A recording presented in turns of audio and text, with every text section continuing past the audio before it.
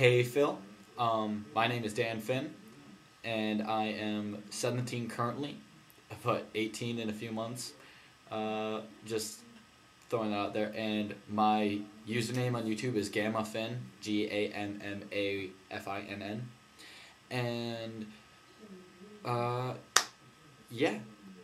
Reasons why I'm qualified to be an intern. Well, one, I am not afraid to shoot a YouTube video inside a hotel bathroom. Yes. Well, to elaborate on that a bit more, um, I am currently traveling. I am in Chicago right now, and I live in Michigan currently. And I'm at Chicago right now to audition for uh, college because I am a senior in high school and going to graduate in a few months. But also, uh, to be more specific, I'm in Chicago auditioning for theater because I am a performer, an actor, whatever. Whatever you want to call it, a thespian, a guy who goes on a stage and tries to act like he's somebody he's not. Uh, um, Halloween. But so I am pretty much applying for future life. Pretty much. I'm not like saying, I want to be the next intern now. I'm saying, hey, this is me. I'm pretty cool. I like to think so. Hopefully you think the same. And maybe sometime the paths will once meet again. And all that jazz. So, um, one, I am a huge nerd. Uh, I play Dungeons and Dragons. I'm a Star Wars fan, Lord of the Rings fan. Um, huge freaking nerd. And I watch your show like crazy.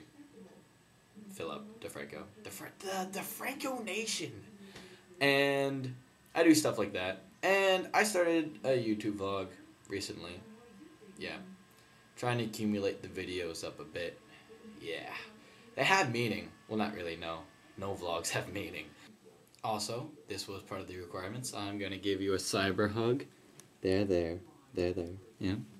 Um, also, to add, um, if I would become an intern, I could, would not have a car. But on the plus side, I am a cross country runner. So I can simply run all over the place without problems. In fact, the most I've ever ran in my life. I'm gonna I'm gonna build this up more though. I'm gonna run a lot more. But the most I've ever ran without stopping was uh, 14 miles. I'm gonna make that a lot more later on in a, about a year maybe.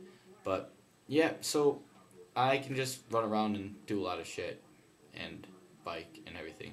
You're surprised what people can do without a car. Yeah. But um, I don't know. I'm outgoing. I'm not afraid to do shit.